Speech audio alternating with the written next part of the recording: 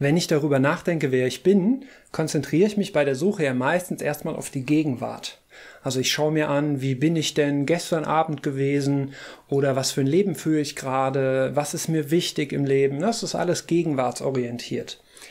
Aber dass ich hier und heute überhaupt so bin, wie ich bin, das hat ja Gründe.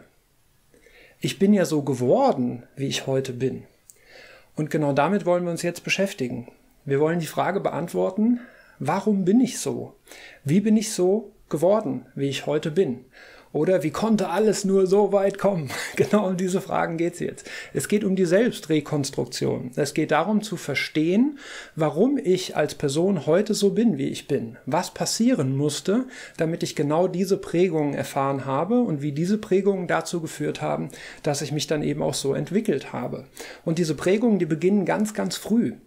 Die Prägungen, die beginnen in unserer frühesten Kindheit und vor allem erstmal durch unsere Eltern.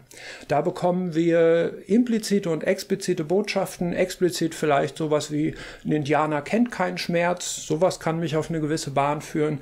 Und implizite Botschaften wie, wie machen Mama und Papa das denn? Wie gehen die mit dem Leben um? Äh, welche Emotionen haben die oft, welche Emotionen haben die nicht so oft? Also ganz wichtige Prägungen. Später geht es dann natürlich auch weiter, Freundeskreis, Schule, äh, teilweise auch Lehrer, dann die Peer Group und so weiter und so fort. Wir wollen all das jetzt mal systematisch durchgehen und du sollst für dich die Frage beantworten, wo waren deine entscheidenden Prägungen? Welche Erfahrungen, die du in deinem Leben gemacht hast, haben mitgeprägt, wer du heute als Person bist?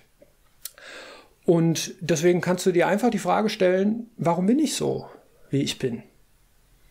Wie bin ich so geworden, wie ich bin? Und welche Erfahrungen habe ich gemacht, die mich so geformt haben? Wie ich heute geformt bin. Es ist ein bisschen so, als wenn ein naives Kind dir die Frage stellen würde oder mir die Frage stellen würde, Hendrik, warum bist du so, wie du bist? Das ist eine verdammt gute Frage. Und genau die wollen wir jetzt beantworten.